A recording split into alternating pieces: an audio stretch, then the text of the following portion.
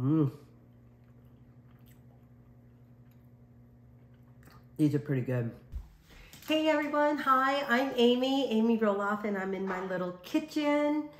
Look at these bananas.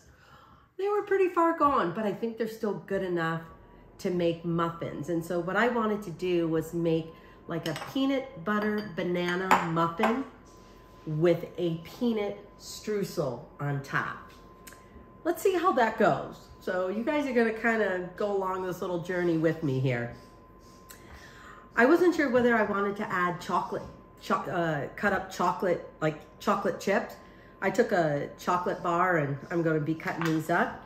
So I think I'm gonna go ahead and do that and um, incorporate that in the muffin too. I've got two cups.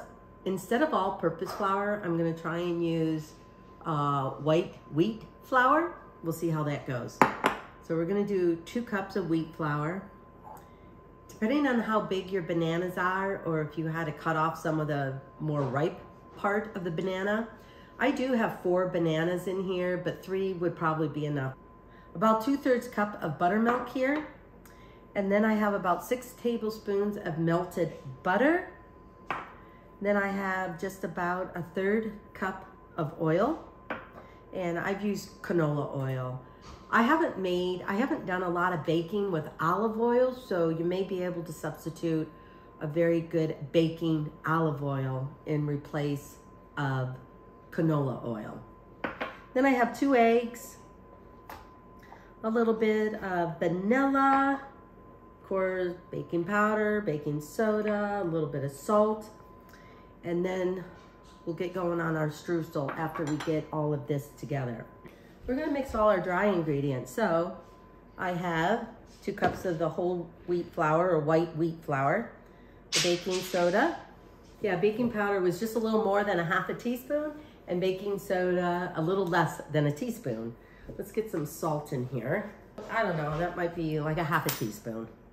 Now we are going to, we're gonna add everything in here and we're just gonna mix it all up. Melted butter. Oh, that's why I use this thing so I can really scrape out these bowls. Make sure you get everything. I've got the oil in here. So this is buttermilk. I like to get that little tang since we got the sweetness of the um, bananas. A little bit of vanilla. Got the butter in here. Whoops.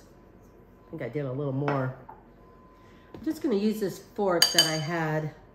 Just gonna mash these. Oh, these are definitely right. Then let's get in the peanut butter.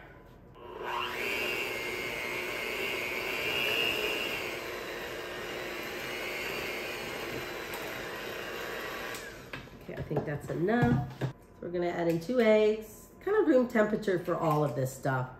Because that way, everything gets more incorporated and your butter doesn't begin to um, get in little chunks because of the cold egg. We're gonna put all of these chocolate in here. That way the chocolate pieces will be coated in the flour and I'm hoping that they will be evenly distributed. So we're just gonna pour the flour in here. Okay, my batter's all ready to go in my muffin tin. And the one thing I wanted to do here was just break up these, chop up these peanuts. Not into big chunks. Just enough to kind of make a little crunch on that, for that strudel. Okay.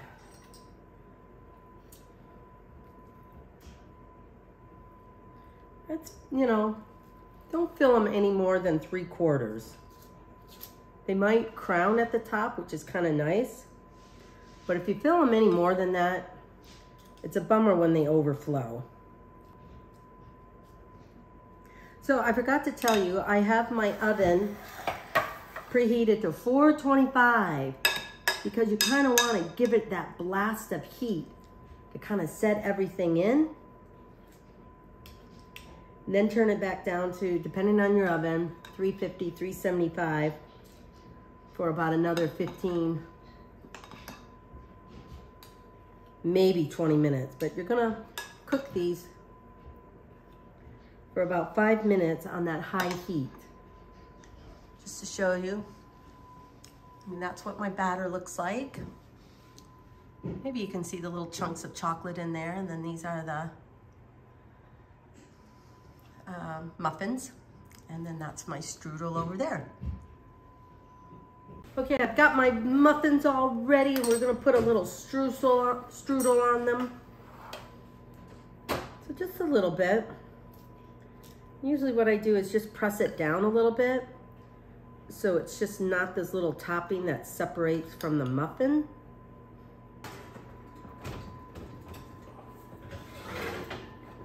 I know you guys are probably wondering why I don't use the lower oven because my up, upper oven has conventional, convection, yeah, convection bake.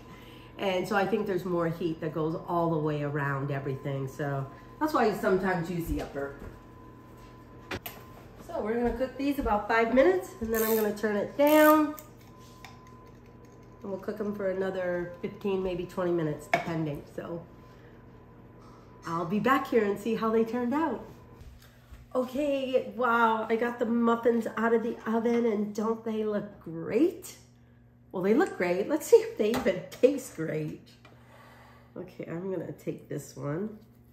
Let's see how these paper things come off. Oh my goodness, you guys.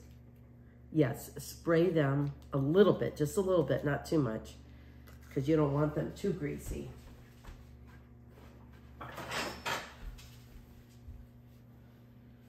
Okay. Mmm. These are pretty good. In fact, these are very good. Like I said, I love peanut butter. You can taste the hint of chocolate. Definitely can taste the banana. Definitely taste the peanut butter. They're moist. I would probably back off and just go maybe two or three ripe bananas. Mmm. I love the streusel topping on top as well. Anyway, these are peanut butter banana muffins with a peanut streusel. I love them. They taste great. Go to Amy Roloff's Little Kitchen or my YouTube channel. You can find this recipe and all of the other recipes that I've done so far over there, and I would love it if you subscribe. But for this recipe, I'll tweak it just a little bit, so definitely follow the recipe. So anyway, I'm liking it. I'm gonna keep eating this. So thank you for being in my little kitchen. So from mine to yours, keep gathering. Enjoy. Mm. Mm, mm, mm.